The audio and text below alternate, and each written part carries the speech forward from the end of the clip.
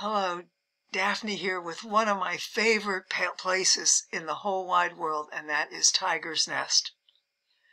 Most everybody knows I love Bhutan. One of the most exciting and amazing experiences in my lifetime was making the four mile trek up the mountainside to visit Tiger's Nest Monastery, just outside Thimphu, Bhutan.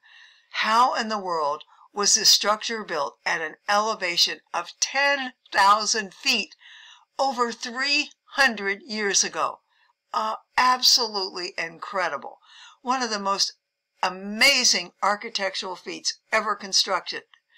Being inside Tiger's Nest, well, all I can say is the experience left me totally and completely awestruck.